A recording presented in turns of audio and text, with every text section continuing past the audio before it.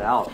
We just got HygroDome monotub made by Bella Bora, and we're very excited to be launching it. You can get it right now on Amazon. Have the vent plate.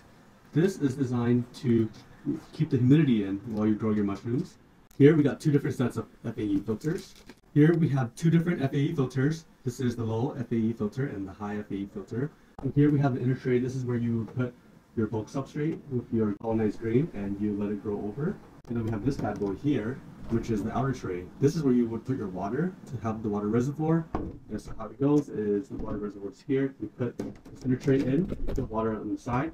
I'll show you what it looks like when you install the filters. So first we're going with the low FAE filters. Insert it like that. Show you side profile. Insert. Literally stick it in. I like these over the sticker ones that are offered on the market because you know the sticker a piece of wears out over time. You have to buy new ones, kind of annoying. But here you just